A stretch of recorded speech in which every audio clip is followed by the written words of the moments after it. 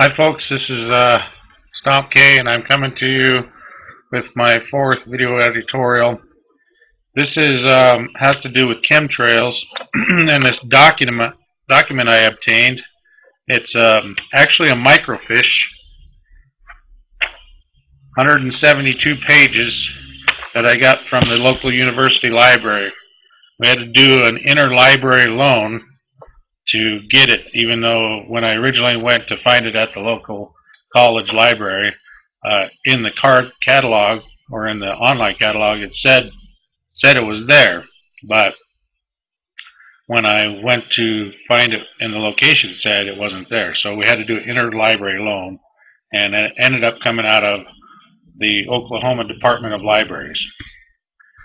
Anyways, so the reason I wanted to get this document is because it's uh, from the U.S. Air Force Academy. It's a chemistry manual from the fall of 1990.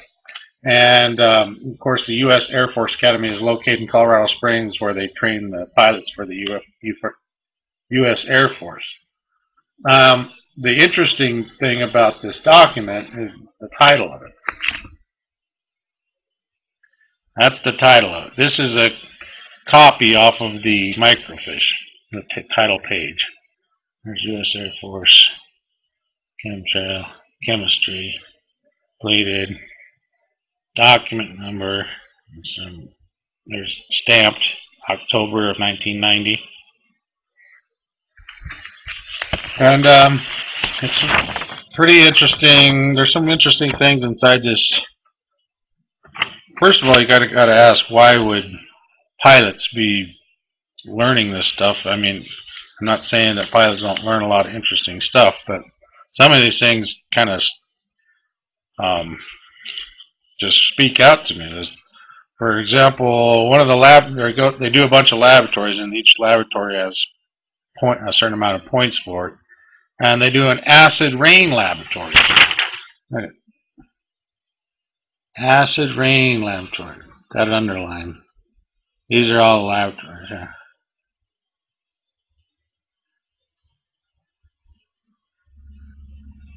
I'm not a scientist, so it took me quite a bit of research just to understand some of this stuff, and some of it seems to be tied with photography and stuff like that, which would make sense if you're, you know, a pilot. But why would you have to be learning about acid rain? I mean, uh, weather patterns, maybe? I don't know. You know, but anyway, so it goes on, and then it starts uh, getting into the chemicals that they are going to study in this lab and and um, the chemicals are like all the chemicals that are used in weather modification and uh, can be associated with HAARP and all that stuff. There's there's lithium ion, sodium ion, beryllium, all these ions, um, aluminum 3, iron 2, here, I'll let you look for yourselves.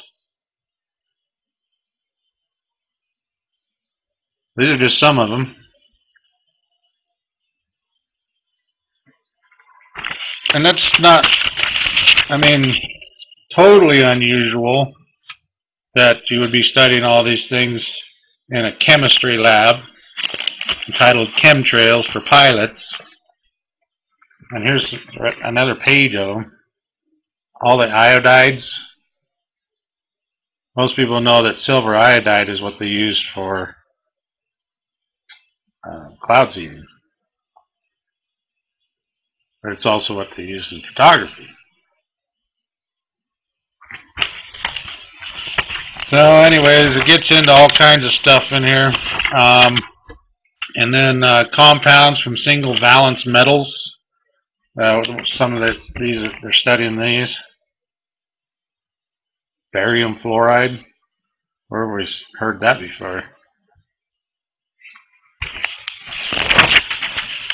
And on and on and on. I mean, it's all real um, technical stuff. But a lot of people that have been studying these chemtrails will recognize a lot of these um, compounds and stuff like uh, we, we've all been hearing perchlorate, perchlorate in the uh, news lately. Yeah, you got it. nickel perchlorate. You know, the rocket fuel stuff, aluminum hydride.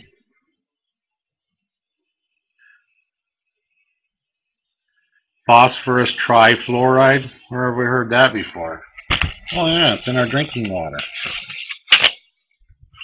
And then you can go, it goes on and on. Hydrochloric acid, cyanide. Okay, and then um, here they're studying the Lewis structures. Peroxides, superoxides, fluorines.